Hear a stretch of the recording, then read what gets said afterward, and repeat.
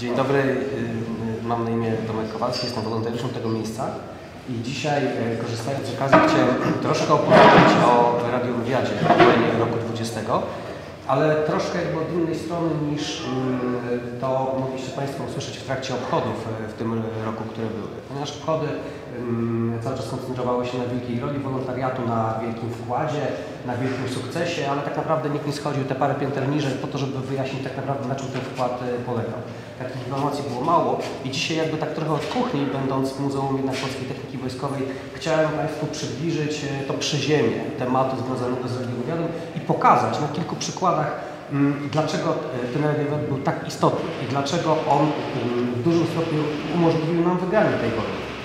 E, oczywiście nie zapominajmy, że mówiąc o roku 20 i o e, przebiegu tej całej kampanii, przede wszystkim należy mieć na uwadze ogromne poświęcenie wojska, e, żołnierzy, ludności cywilnej, wszystkich obywateli tego kraju, bez których tego zwycięstwa by nie było. Radiowywiad bardzo pomógł, umożliwił, ale to żołnierze na swoich plecach, na swojej krwi wywalczyli nam to zwycięstwo.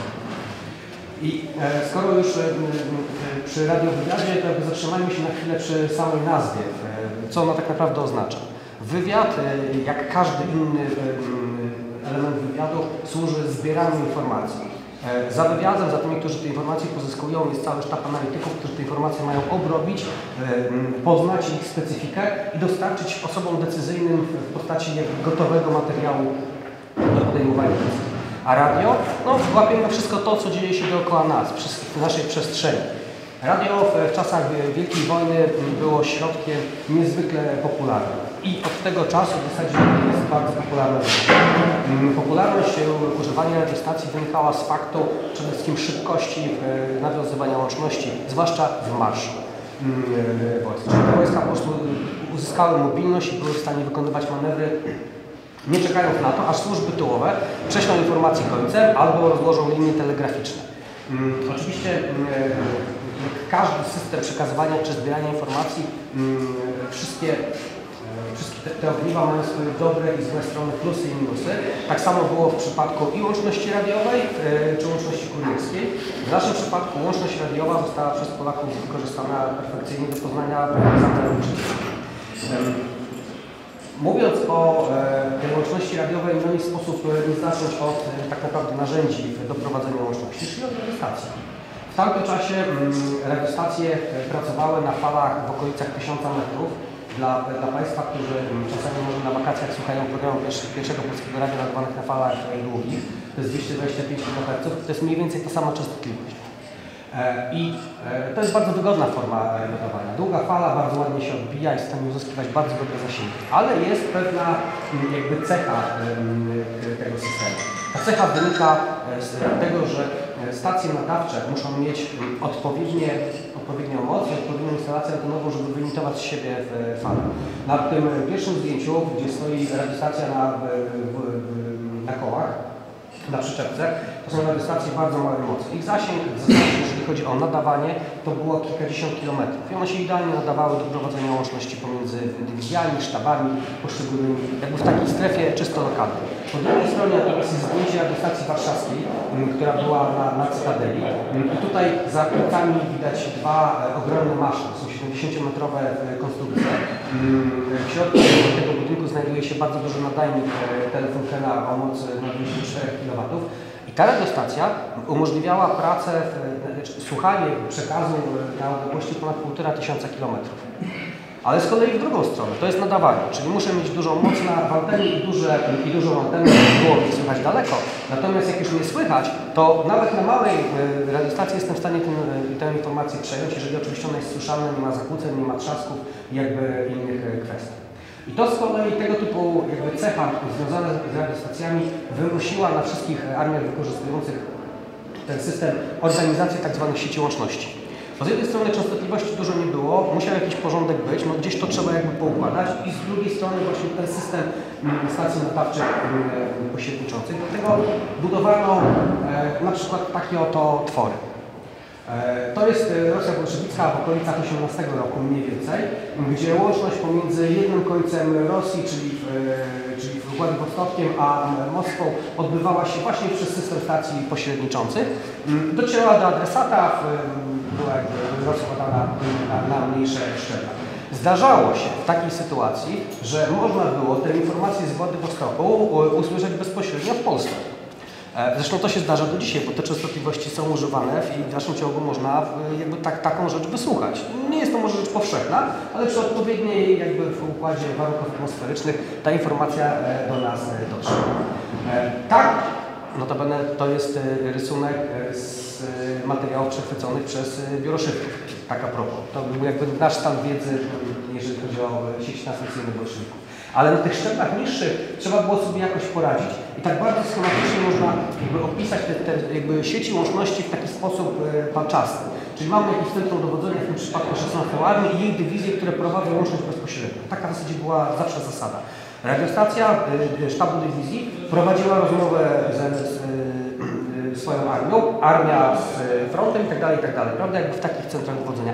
Były sytuacje czasami wyjątkowe, kiedy e, kiedy te, te stacje wymieniały się pomiędzy sobą, ale ogólna zasada była takiej łączności palcowej, tak? Czyli od jednej radiostacji tego niższego szczebla, szczebel wyżej, wyżej, wyżej przekazujemy sobie informacje. To powodowało, że tak naprawdę te schematy łączności można zacząć jakby rozrysowywać w tej strukturze drzewiastej coraz szerzej i szerzej, gdzie poszczególne jakby zaczynają się nam pojawiać, tak jak w przypadku tutaj frontu zachodniego. A w tym czasie, mm, gdyby tak sięgnąć do meldunków operacyjnych wyjętych przez polski wywiad, to e, oni rysowali to tak. E, I to jest e, mm, mniej więcej sytuacja z początku sierpnia mm, rozpoznanych stacji bolszewickich, które działały na, na, frontach, na froncie polskim. Na froncie zachodnim i na froncie południowo-zachodnim.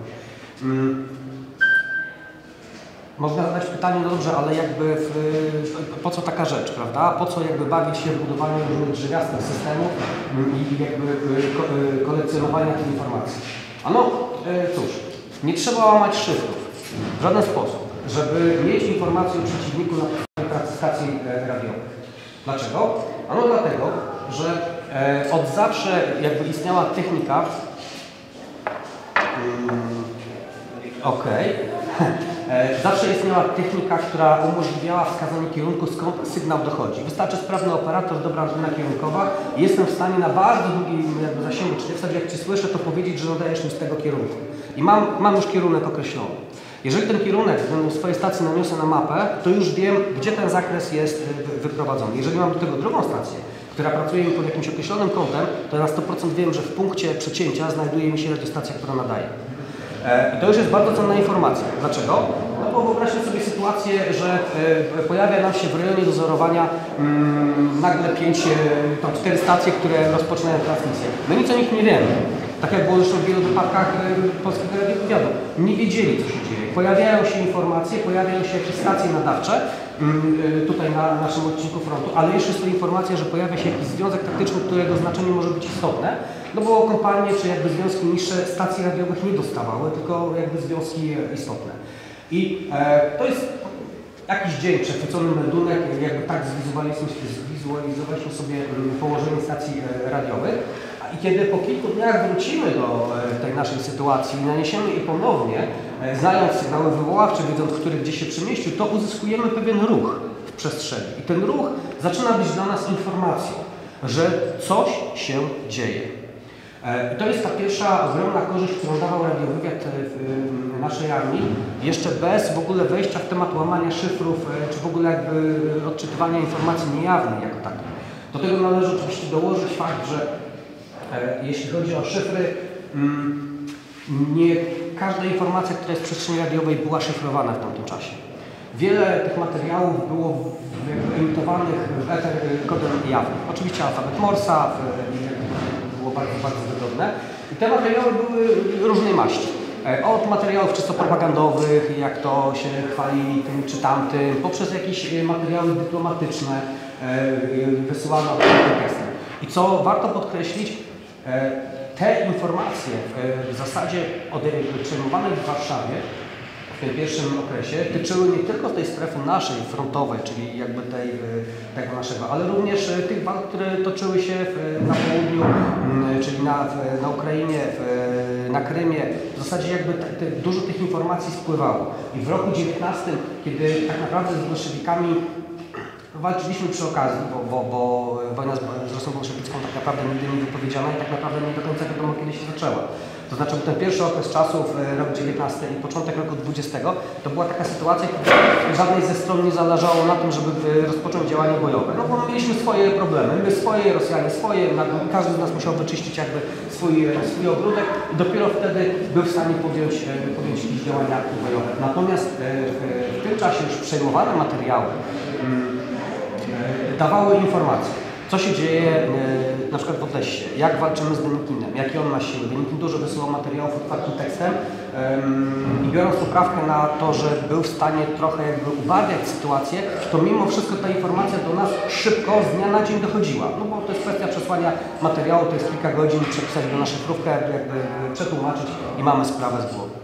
Tym e, drugim elementem, który tak naprawdę otworzył nam e, szansę zwycięstwa w tamtym czasie, to jest łamanie, to takie fizyczne łamanie kodów e, mm, bolszewickich.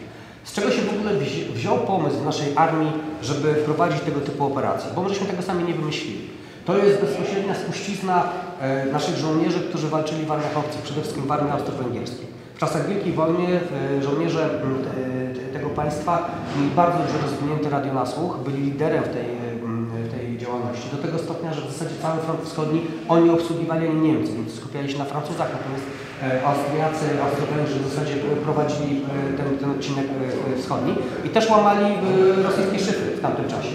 W armii austro-węgierskiej było dużo Polaków i ci Polacy po, po zakończonej Wielkiej Wojnie wracając do kraju, do służby swojej ojczyźnie, dzielili się informacjami. Dlatego nie było to nic takiego bardzo nowego i takiego odkrywczego, aczkolwiek w 19 roku uwierzyć w to, że to się uda i że można z tego wyciągnąć konkretną informację, to nie jest taka rzecz e, jakby mm, łatwa. Zwłaszcza, że organizacja samej struktury e, wywiadu i jakby oddelegowanie części tych mocy nie do łączności armijnej w naszym biednym kraju, no to już był, e, był e, spory wysiłek. I od w zasadzie początku, kiedy, kiedy mm, biuro szyfrów e, mm, pozyskiwało informacje, mm, prowadzili e, tą delegacje, jakby nanosili sobie stacje e, rosyjskie. Od samego początku próbowano łamać e, sowieckie szyfry bolszewickie, ale to nie wychodziło. Po prostu nie wychodziło. Mm, I e, tak? Nawet świeci. A, okej, dobra, spróbuję. Mm, Tutaj zdecydował przypadek. I to, jak to w życiu, mm, czasami trzeba im pomóc, a przypadek polegał na tym, że pewna panna się chciała wyjść za mąż. To dosłownie tak wyglądało. W związku z tym operator w stacji w warszawskiej poprosił swojego kolegę, żeby tego zastąpił, bo wiesz, dwa tygodnie urlopu, ślub siostry, yy, chce pojechać, jakby zajmie się tematem, wiesz, będziesz siedział, będziesz odbierał meldunki. I tylko tyle. No nie bardzo chciał robić, mówię tutaj o poruczniku yy, Kowalewskim.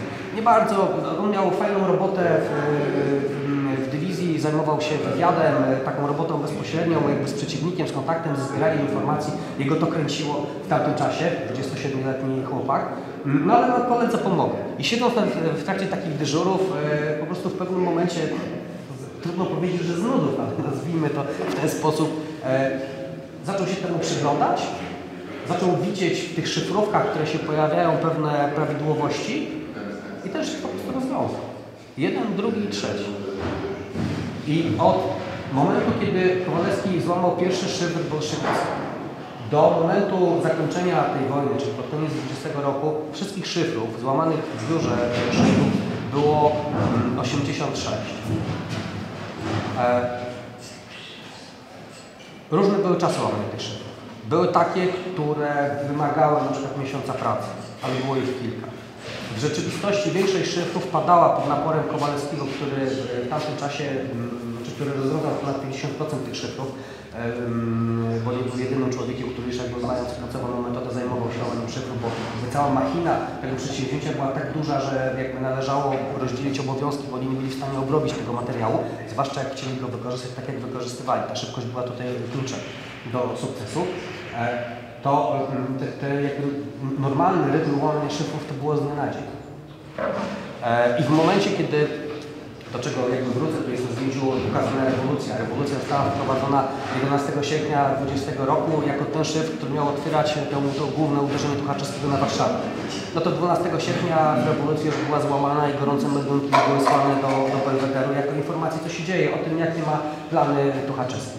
I tak funkcjonowało to w biurze szyfrów. W zasadzie z dnia na dzień.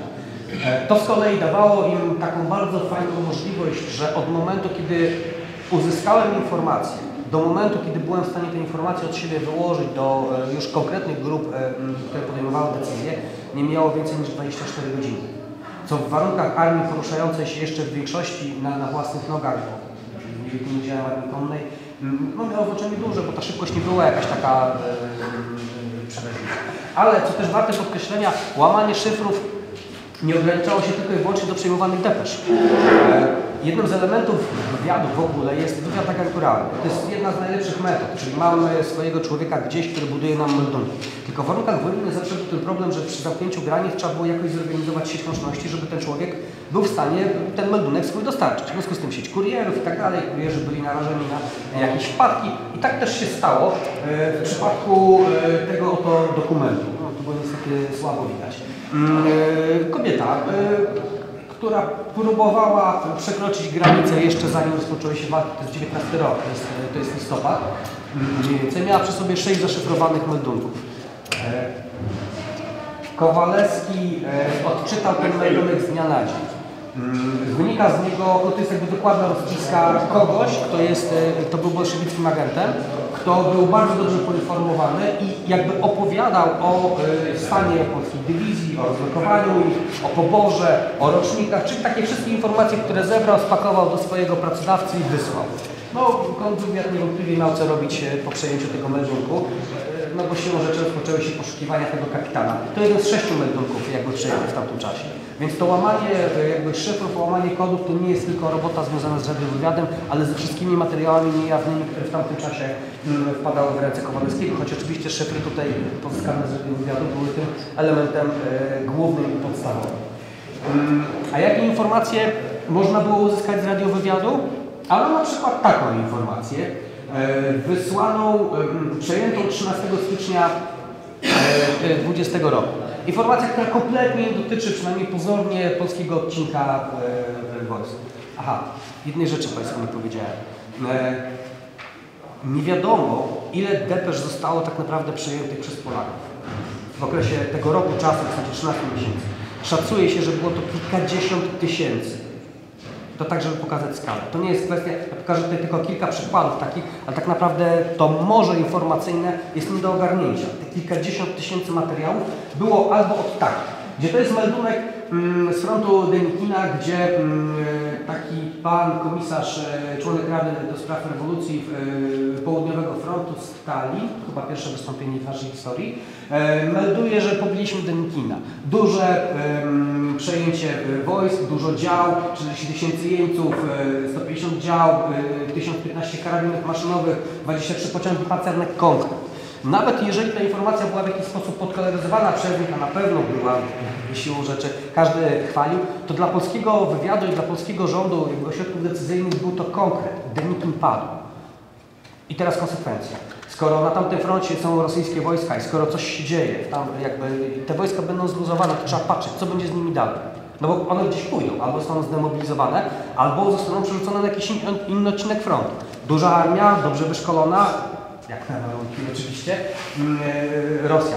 Czyli z pozornie nieistotnego fragmentu pojawiają się takie depesze, które dla nas, dla naszej historii zaczęły być bardzo istotne. Ta akurat jest niezwykle istotna, jak się okazało później, Mm, ale to jakby zaraz do niej wrócę. Można było też z radiowywiadu uzyskać e, jeszcze więcej e, konkretnych informacji. Jesteśmy w, e, też w 19 roku i tutaj z 34 e, przejętych radiodepesz Kowalewski przygotowuje taką syntezę. To było bardzo częste, bardzo powszechne. Mm, W momencie, kiedy te depesze były u niego na świeżo w głowie, on robił e, wyciągi, mm, albo jakieś tematyczne, albo takie ogólne. Początkowo robili to raz na tydzień, ale w momencie, kiedy te fronty rzeczywiście ruszyły i trzeba było szybko przekazywać informacje, taka synteza była robiona codziennie. Często codziennie plus jakieś uzupełnienia, bo jakby cały czas oczywiście coś się działo. Mamy informacje, jak e, czarno na białym podane, co się dzieje e, flotylii nie- nieprzańskiej. Ona jest bardzo daleko od nas. e, w- To są w ogóle jeszcze poza naszym e, terenem operacyjnym. Ale już wiemy, jaki jest skład, ile jest okrętów bojowych, ile jest okrętów pomocniczych, e, jaki jest problem z załogami, że nie mają co jeść, e, że nie mają jakby elementów umundurowania przy ziemię. Prawda? Łącznie z takimi informacjami, które pojawiały się później, bo gdzieś na którymś z tutaj zakrętów pancernych włas jest zepsuty i trzeba yy, ślusarza do niego przesłać, bo inaczej nie będzie pływał. Prawda? I to są informacje, które do nas przychodzą mm, często szybciej niż do adresatów. Z tego względu, że te depesze trzeba przejąć, trzeba ją przepisać i odszyfrować. I bywały często takie sytuacje, że my przejmujemy, a Rosjanie proszą o powtórzenie, bo nie zdążyli i tak dalej. Więc mamy informacje w momencie, w tym samym momencie, w którym ma je przeciwnik. Mm, tutaj pod ręką. Czasami e, udaje się to wykorzystać do, czy czasami w większości wypadków, do konkretnej pracy. To już jest meldunek z trochę późniejszego okresu, e, z końcówki stycznia 2020 roku, kiedy e, pojawia się informacja o e, planowanym przeciwdziałaniu przeciwnika. I tego typu informacja to jest najprawdopodobniej jeden z pierwszych e, meldunków, który został złożony jakby bezpośrednio do dowódcy dywizji, do polskiej dowódcy dywizji z informacją. Oczywiście on był obrobiony, to nie także w formie gotowej, bo jakby ochrona radiowywiadu była bardzo, na bardzo wysokim poziomie. O nim wiedziało e, kilka osób w państwie, że coś takiego funkcjonuje. Reszta dostawała informacje już w formie syntezy. Ale taka informacja, uważaj stary, przeciwnik się organizuje, w tych i w tych miejscach rozpoczyna koncentrację, najprawdopodobniej będzie przygotowywał uderzenie. No to dla dowódcy będącego w polu jest y, informacją no, taką dość istotną. I proszę zwrócić uwagę też na, na e, taki drobiazg. 24 e, styczeń przejęcie informacji o godzinie 10.49 i o 12.00 z ogonem mamy informację rozszyfrowaną, już jakby wrzuconą w obieg. Czyli w zasadzie zanim, e, zanim mm, ta brygada forteczna spakowała swoje plecaki i wzięła coś do jedzenia, to nasz dowódca pułku czy dowódca dywizji już wiedział, że, będzie, że coś się będzie działo mm, w ocenie e, sytuacyjnej. E, wspominałem Państwu o tej depeszy związanej z Denikinem. Mm, był taki moment w tej historii naszych dyskusji z bolszewikami, że pojawiały się propozycje pokoju. Rosjanie wyciągali rękę i mówili, słuchajcie, no no tam było co było, jakby dogadajmy się, będzie dobrze. Takie propozycje pokojowe miały miejsce i w grudniu 19 roku i ze dwa razy w styczniu e, roku 20 mm, i świat w zasadzie, głównie Brytyjczycy, bo już wtedy w 20 roku w styczniu zaczynają dogadywać się właśnie jakby wymiany handlowej z Rosją bolszewicką, byli bardzo zdziwieni, że Polacy nie chcą się dogadać. Jak to kurczę jest, że nie chcą się dogadać? A kiedy Piłsudski ruszył na Kijów, no kurczę, w ogóle facet ma jakieś imperialistyczne wymysły. Mm, przecież bolszewicy chcieli się dogadać. O co chodzi nie? w takim elemencie? No tyle tylko, że to jest ta jedna strona medalu. Ale druga strona medalu, z, z materiałów radiowywiadu zaczynała informować e, polski sztab, że jednostki z zaplecza Rosji, z frontu Denikina, tam jeszcze z innych miejsc, zaczynają być masowo przerzucane na, na granicę z Polską. Nie do bezpośredniej styczności, tylko na zaplecze. I radiowywiad melduje przenosiny radiostacji, przenosiny w, w poszczególnych grup żołnierzy. I w tym momencie, kiedy Rosjanie 29 stycznia oferują nam znowu propozycję zawarcia pokoju, w tym czasie zaczynają mieć, e, zwiększają jakby stan bojowy tam z 80 kilku tysięcy do 160 tysięcy żołnierzy na granicy z Polską, to jest około tam 300 tysięcy atatów żywieniowych i radiowywiad w swoich meldunkach i prognozach donosi, że w przeciągu najbliższych dwóch, trzech miesięcy Rosjanie osiągną tę dwukrotną przewagę nad wojskami polskimi. I jakby to wynika z już y, nie to, że jakby mam taką, taką wizję, tylko z konkretnych meldunków. Ten dostał rozkaz, ten dostał rozkaz, armia konna budionnego y, ma się pakować i ma jakby ruszać za moment, jak rozwiąże swoją robotę i przenosić się w konkretne elementy e, frontu polskiego. Zresztą z armią budowlanego, która stąd ruszyła później e, do boju, mm, radiowywiad miał spory problem, ponieważ wiadomo było, że na froncie mm, e, południowym, na której e, ona walczyła, miała spore sukcesy. Było to narzędzie trudne do opanowania, była bardzo mobilna, miała dużą siłę ognia w tamtym czasie, więc była pod bardzo mocnym nadzorem. Mm, ale z kolei komanda, armia budowlanego zachowywała dość duży reżim, jeżeli chodzi o rozmowy w eterze, bardzo mało było tej transmisji, w związku z tym tylko śladowe ilości. Mimo tego, mimo tego, że oni zniknęli w zasadzie mm, w takim dużym stopniu na praktycznie miesiąc, który potrzebowali na przemieszczenie się, mm, to e, pozycja ich i e, miejsce, w którym będą atakować, a zrobili praktycznie z marszu po wejścia, zostało e, przez Polski Radiowywiad wyłapane i wskazane dokładnie w tym miejscu, w którym ten atak nastąpił.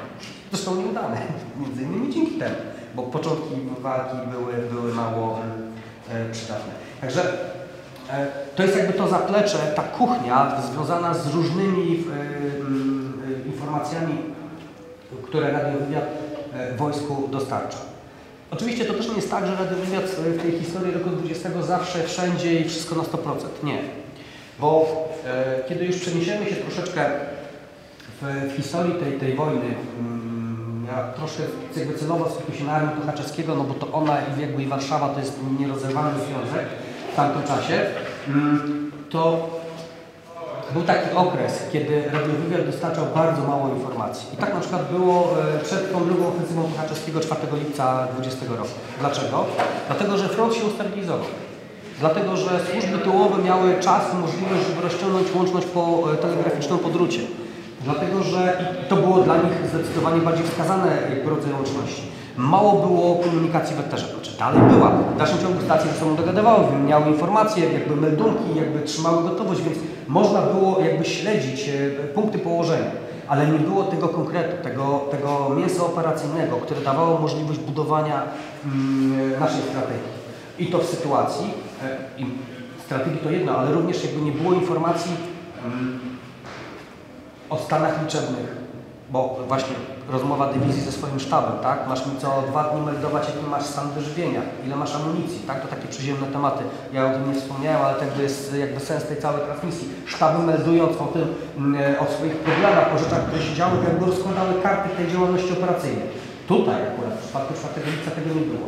Radiowywiad przejął tylko i wyłącznie informację 3 lipca mm, o tym, że się szyfr zmienił, że e, pojawia się nowy rodzaj szyfru, E, no to już była informacja, że coś się będzie działo, bo zawsze przed dużymi operacjami zmieniał się ten szyfr. Jakby to taka, jest, taka była rosyjska praktyka e, w tamtym czasie bolszewicka, ale wywiad szacował, że ta ofensywa ruszy nie wcześniej niż, e, niż w okolicach 10-11 lipca. No przeliczył się, ruszyła dużo, dużo wcześniej. Tak samo jak radiowywiad nie był w stanie w tym przypadku dowiedzieć się o tym, że powstał taki związek taktyczny jak trzecia armia konna. Ona akurat w bitwie warszawskiej zrobiła bardzo dużo swojej roboty naszego punktu widzenia, ale nie wiedział tego, bo ta armia powstała 3, 2 lipca. Czyli i znowu jakby te informacje jakby szły kurierami tą drogą lądową, do której radiowywiad dostępu nie miał. I w momencie, kiedy Tuchaczewski ruszył ze swoją drugą ofensywą, e, nasz problem był bardzo duży. Mm, no bo tak, po pierwsze nie znamy tego szyfru, e, to jest pierwsza kwestia. Druga, widać było po tempie ofensywy, że trzeba pewne elementy radiowywiadu przebić. Na przykład jedną ze stacji, która mm, jakby opracowała meldunki związane z położeniem e, stacji wroga, czyli musiano przenieść jakby na zaplecze, więc była taka drobna dziura w, tej działalności, która kosztowała niewątpliwie dużo, dużo naszej krwi, ale e, na całe szczęście już w okolicach 7 lipca 20 roku mm, te trudności zostały rozwiązane. Wtedy padł szyfr sowiecki, wtedy udało się przyjąć dyrektywę Tuchaczewskiego, który wydawał polecenia swoim wojskom, w jaki sposób mają okrążyć pierwszą armię Wojska Polskiego takim, takim uderzeniem na dwa kleszcze, żeby zamknąć ją tak jak żeby załatwić Wojsko Polskie jak pod Sedanem, czyli żeby złapać w worek sześć dywizji, wytłuc i w zasadzie jakby likwidacja tych sześciu dywizji, dywizji zamknęłaby nam mm, historię bitwy z bolszewikami w roku 20, no bo to, to dość dużo było utrata sił i trudno było spodziewać się, żebyśmy się z tej operacji mm, wykręcili. No ale po drodze stanęła ta mała komórka, która przekazując informacje do sztabów, określając kierunki uderzeń i zadania dla poszczególnych e, formacji e, bolszewickich spowodowała, że nasze sztaby zaczęły się w sposób jasny, czytelny, z naszego punktu widzenia zorganizowany cofać. Po prostu, wychodząc pod tego uderzenia. I finalnie te kleszcze Kochaczewskiego no niespecjalnie udało mu się zamknąć, bo już nie było w czym mm, do, do e, przejęcia. I to są właśnie te największe, można powiedzieć, e, smaki operacyjne. Wgląd bezpośrednio w to, co przeciwnik oferuje e, w informacji. A poza tym, no przeciwnik, jak to przeciwnik? Skoro mogę sobie pogadać, to poopowiadam. W trakcie tego wielkiego odwrotu, znaczy mówię o sowieckich radiostacjach, w trakcie jego wielkiego odwrotu Rosjanie w zasadzie od, od e, ruszenia tutaj mm, spod Mińska cały czas informowali swoje sztaby. Armia polska jest rozbita. Polacy uciekają w panice. Polacy nie, nie mają moralu. Jesteśmy wygranymi, jest wielkie zwycięstwo. W zasadzie trzeba tylko ich złapać i pchnąć tym ostatnim jakby uderzeniem. Polacy nie istnieją. I tak te w 300 parę kilometrów, e, 400 w zasadzie cały czas gonili tę armię polską, która tam upadała, e, próbując im wbić te ostatnie pchnięcie, tylko cały czas ta armia polska robiła różnego rodzaju manewry, żeby wyjść spod tego uderzenia i żeby nie dać się e, za mocno e, skarcić. Zawsze to oczywiście wychodziło. Mm, e, Różne były sytuacje tej wojny, ale w zasadzie taka była praktyka. E, Przynajmniej na froncie północnym, bo na froncie południowym bardzo szybko jakby pojawiła się myśl, żeby jednak mm, no, próbować zatrzymać bolszewików, co się finalnie udało pod Lwowem. Jakby ta wielka myśl, e, która tam pojawiła się, szalona myśl, e, jakby można było, przez wiele, wiele lat była taka myśl, było tak to traktowane, że Piłsudski oszalał, żeby w ten sposób podejść do zadań taktycznych, żeby zatrzymać jedną armię, a drugą wpuścić. No ale jakby widząc, co się dzieje, jak się przenoszą poszczególne jednostki, ma- mając na dużej planszecie po prostu porozstawiane elementy, dla Piłsudskiego była to rzecz absolutnie fenomenalna. W efekcie, kiedy te skrzydła się rozjechały przez Polesie, kiedy bolszewicy na froncie południowym utknęli, a Paczewski był absolutnie przekonany, że wygrał e, i goni tylko po to, żeby dobić Polaków, przestaje się, przestał się zastanawiać nad jakby y, y, swoim położeniem strategicznym. Doprowadził swoją armię do sytuacji już pod Warszawą, e, w której to sytuacji zaczynają pojawiać się meldunki, które poza oczywiście tą euforią, że Polacy już pobici, uciekają i tak dalej, ale zaczynają rzucać pewien mm, no, tak, taki cień, no, że może nie wszystko poszło dobrze. Bo to 1 e, sierpnia mm, e, dowódca trzeci korpus w Gai, jednostka, która naprawdę zrobiła bardzo dużo złego, wysoka mobilność, cały czas wyjście na skrzydła, cały czas presja związana z rolowaniem. 1 sierpnia Gai zaczyna informować, no super, ale my potrzebujemy amunicji. Dajcie mi 500 tysięcy ładunków karabinowych i 2000 pocisków do, do działu. Ja nie mam czym strzelać. 2 sierpnia nie mam map, nie mam pocisków. Jeść można było wszystko, co było. Były lato, było ciepło, były zbiory, mogli się wyżywić, ale trzeba mieć czym strzelać. E, 3 sierpnia artyleria korpusu nie ma e, e, amunicji do działu. Nic nie otrzymujemy, nie dostajemy, nie mamy elementów walki. 4 sierpnia atakują Łomże e, w tym czasie. Atakują bardzo brawurowo, ale jak? Ataki korpusu z powodu zupełnego braku amunicji artyleryjskiej karabinowej prowadzone są bronią białą. 4 sierpnia wielki nieustraszony korpus Gaja, który parł te 500 kilometrów e, rolując Polaków, był przekonany, że pobił ich, musiał stanąć do walki jak armia XVII-XVIII wieku. Broń biała i jedziemy na broń maszynową. Mocno zostali wyrżnięci w tamtym czasie. Mm, W tamtym okresie. A co na to sztab odpowiadał? No bo ta łączność była jakby w dwie strony. No cóż, dziś rano, 4 sierpień, wysyłamy Wam do Łomży naboje karabinowe dla całego korpusu. Tak? I, ale nie mówcie do, do sztabu armii, że się nic nie dzieje, bo, bo, bo pociski będą tak? dnia następnego. 50 tysięcy pocisków do broni strzeleckiej dowieziemy Wam do, do Łomży. Mm, 50 tysięcy przy 100 karabinach e, maszynowych na stanie w tamtym czasie w armii Gaja, no kryzys był widoczny gołym okiem. I tyczyło się to nie tylko e, e, zaopatrzenia w broń strzelecką. E, ubiory, może mało istotne dla żołnierza, ale e, środki e, szpitalne, w ogóle u Rosjan zawsze był problem, ale tam jakby nie, nie, nie było. Tyły stanęły, tyły stanęły bardzo daleko. I o tym wszystkim wiedział sztab armii w, e, z przejętego materiału, jak widać. I w zasadzie to całe wpuszczenie, dzisiaj jest taka dyskusja, prawda, gdzie została wygrana Bitwa Warszawska, tak? Jedni tam próbują powiedzieć osób, niektórzy w tej chwili z jednej strony mówią ten, e, niech cynno pod, e, no, Nasielsk. Nasielsk. Właśnie, no tak, ale ta armia została wygrana, e, ta bitwa została wygrana przez fakt, że po prostu przeciwnik rozjechał swoje skrzydło. Bo co się dzieje? Ano dzieje się to, że e, w swoim planie ataku Rosjanie mm, Tuchaczewski wydaje dyspozycję. Wszystkie moje armie mają jechać manewrem północnym i okrążyć w- Warszawę od północy, wyjść na linię Wisły, odciąć ją od Gdańska, robić manewr na Wielkopolskę. A jedna armia, 16, ma dojść do Wisły i to jest jakby charakterystyczna kwestia e, tutaj, o której się czasami zapomina. W e, walki pod Radzyminem i pod e, jakby w ogóle na tym północnym odcinku nie miały na celu zajęcie Warszawy. W żaden sposób. Te dywizje miały w, rozkazie wygenerowanym przez Tuchaczewskiego zadanie dojścia do Wisły. 27 dywizja pomiędzy Modlinem a, a powiedzmy Łomiankami, tak jakby po, poszczególne dalej. Szturm na Warszawę został decyzją Tuchaczewskiego miał odbyć się siłami 10 Dywizji Strzeleckiej, która miała wejść e, na Warszawę, na Pragę, traktem więcej ulicy Grochowskiej dojść do Wisły, jeżeli da radę zająć mosty, jeżeli nie, to zorganizować się- sobie środki przeprawowe i przeskoczyć się na drugą stronę. Taki był zamysł operacyjny Tuchaczewskiego. Oczywiście każdy z tych dowódców, no, a przynajmniej tych, które znajdowały się blisko Warszawy, no liczył na to, że to na niego spadnie ten splendor tego, który zdobędzie miasto. Ale rozkazy mówiły bardzo wyraźnie. Diabeł tylko oczywiście był w szczegółach, dlatego że 10. Dywizja Strzelecka była bardzo zapóźniona w tym swoim ruchu, o czym nasz jak doskonale sobie zresztą zdawał sprawę e, w tamtym czasie.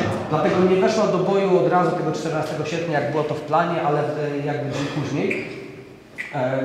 No i weszła dla siebie trochę w nieszczęśliwy sposób, bo z braku rozpoznania rosyjskiego e, ich jakby główne uderzenie poszło e, przezwiązowne, e, czyli w absolutnie najlepiej ufortyfikowany fragment przedmościa warszawskiego. I to taki, tak ufortyfikowany i tak jakby nasycony artylerią, że oni spróbowali dwa razy, po czym dali sobie spokój. I jakby skończyło się rumakowanie. To dosłownie wyglądało w ten sposób tam podwiązano. I też jakby tutaj wy- wynika mm, jakby mm, wykorzystanie informacji radiowywiadu.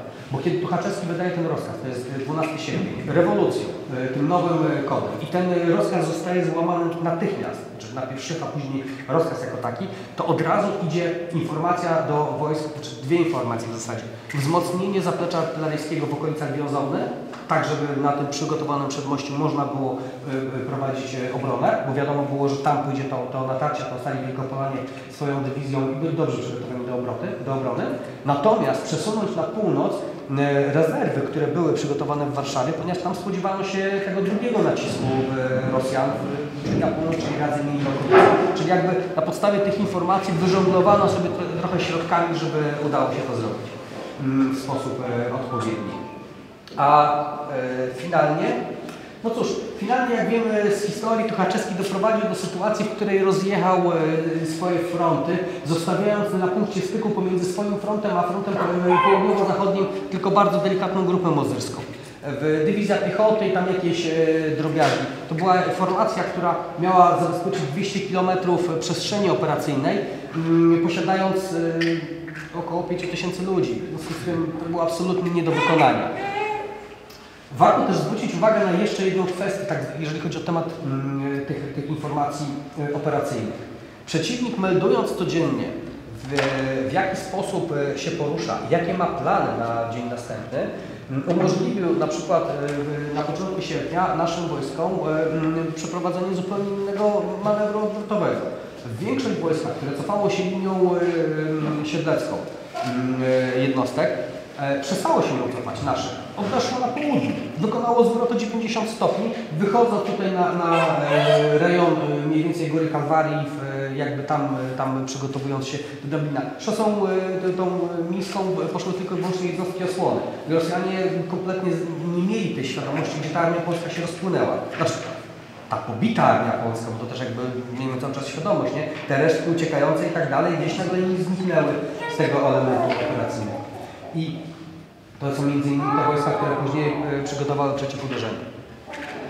E, Samo przeciwuderzenie 16 sierpnia, można powiedzieć, było formalnością w tamtym momencie, no bo e, te armie, te dywizje wjechały w zasadzie w pustkę operacyjną.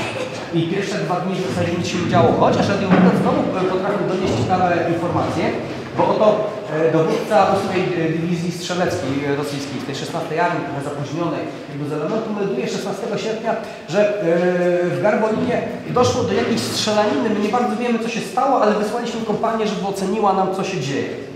No to okej, prawda? To było tak mniej więcej jakby rano, w okolicach południa. Pod wieczór e, dowódca dywizji melduje do, do szefa swojego sztabu, czy do, do szefa e, armii, że y, kompania nie wróciła, co prawda my dalej nie wiemy, co się dzieje w tym Garbolinie, ale tam się jakby nasilają walki, więc wysyłam y, tam y, grupę batalionową, żeby jakby rozeznała sytuację. Mm, Następnego dnia rano kolejny meldunek, no, że rzeczywiście coś tam się dzieje na tym naszym zapleczu, bo to już widać, ale nikt nie wrócił z informacją, co w związku z tym wysyłamy pułk, żeby jakby rozwiązać sytuację i kolejny meldunek y, z y, tego dnia już wysłany wieczorem w zasadzie był podsumowaniem y, dowódcy armii do, do szefa frontu, że ósma armia przestała istnieć. I w ten sposób te fronty zostały, mm, y, te jednostki były po kolei rolowane. E, Radiowywiad w tej wojnie poza śledzeniem wojsk przeciwnika i dostarczaniem informacji zrobił jeszcze jedną bardzo ważną rzecz. Mianowicie mm, 18 sierpnia, dwa dni po rozpoczęciu ofensywy, czyli w czasie takim, kiedy mm, można było już przypuszczać, że te, ta machina wojenna przeciwnika zacznie się orientować, że się zrobił problem. To mniej więcej tak było. Po dwóch dniach e, te wysunięte oddziały poszczególnych armii już zaczęły coś czuć, że coś się dzieje jakby nie do końca w sposób właściwy, że już może być problem. Przecież idziemy, bo odcinać byli komunikacyjne. Po zamknięciu e, granicy z Niemcami zaopatrzenie przestało w ogóle płynąć, więc cała ta e, masa wojska była do zrolowania, dlatego zresztą uciekli e, do Niemiec. Mm, Ale 18 sierpnia radiowywiad, który znając częstotliwości, przyzwyczajenia, systemy wywoławcze, kody i tak rozpoczyna dywersję. E, W momencie, kiedy rosyjskie stacje zaczynają nawiązywać ze sobą łączność, żeby się dogadać, co się dzieje, przekaz rozkaz i tak umożliwiano im rozpoczęcie połączenia, a potem rozpoczęto zagłuszanie e, meldunków, tak żeby Rosjanie nie byli w stanie się dogadać. I szacuje się, że przez e, 24 godziny rosyjskie radiostacje nie były w stanie skomunikować się ze sobą, czyli przekazać informacji. Dodatkowy dzień na to, na podjęcie decyzji. I finalnie, kiedy Rosjanie już byli w stanie skomunikować swoje jednostki powiedzieć, słuchajcie, no trzeba robić to i to, to już było za późno.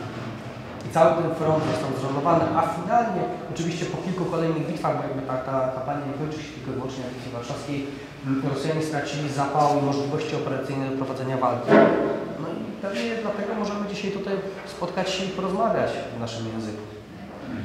E, Poruszyłem bardzo skrótowo temat. Nie da się w ciągu godziny omówić e, kwestii związanych z radiowywiadem, ze wszystkimi aspektami, wszystkimi materiałami. Można by tutaj e, zrobić bardzo dokładną analizę, dlaczego Piłsudski zdecydował się w ogóle na, na e, ruch w kierunku Ukrainy. Jakby zrobić zestawienie mm, ilości dobra wojennego, które wyjął bolszewikom z ręki. Postawić sobie pytanie, co by było, gdyby to dobro pojawiło się w sierpniu e, jakby w nieruszonym stanie tutaj pod Warszawą czy jakimkolwiek innym miejscu. Mm, Jakby ilość materiału jest naprawdę przeogromna. Jeśli mielibyście Państwo ochotę zapoznać się z tym trochę mm, mocniej, trochę dokładniej, to bardzo gorąco polecam te dwie pozycje. Profesora Grzegorza Nowika. To jest człowiek, który wyciągnął na światło dzienne radiowywiad. I to jest też rzecz bardzo znamienna. W dwudziestoleciu radiowywiad był bardzo tajną e, e, instytucją. O tym, że czytaliśmy depesze, nie mówił nikt. Dobrze, bywały pewne przebłyski w niektórych książkach, które dzisiaj, jak znamy tę wiedzę, jesteśmy w stanie powiedzieć, dobra, temu generałowi się wymsknęło.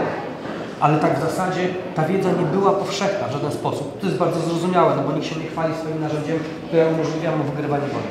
I ta wiedza była wiedzą niejawną dla nas e, do 2004 roku. Wyobraźcie sobie, że wszystkie książki, które były pisane na temat wojny polsko-bolszewickiej, wszystkie opracowania, prace naukowe i tak w tej części związanej z mechanizmem podejmowania decyzji przez e, sztab e, Wojska Polskiego, w zasadzie po wyciągnięciu tych materiałów można było w sumie spakować i odłożyć sobie gdzieś i zastanowić się nad tym ponownie.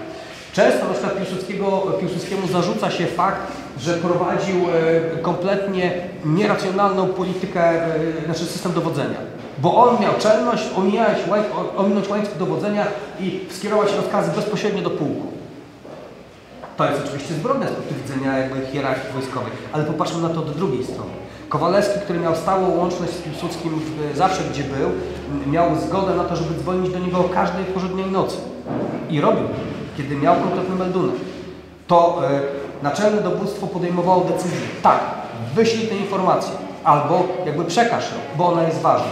Czasami z pominięciem łańcucha dowodzenia. Jest to głupie? No na dłuższą metę powiedzmy dyskusyjne, ale przyniosło efekt w roku 20. I ta wiedza do 2004 roku była wiedzą kompletnie nieruszoną.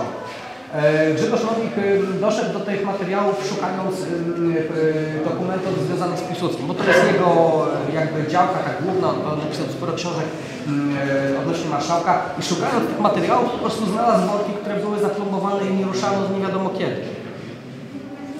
To są dwie cegły po... Naprawdę jest niezła lektura, bardzo powalająca. Mm, I taki moment, kiedy naprawdę mamy się z czego cieszyć, że nam się chciało. Dziękuję Państwu.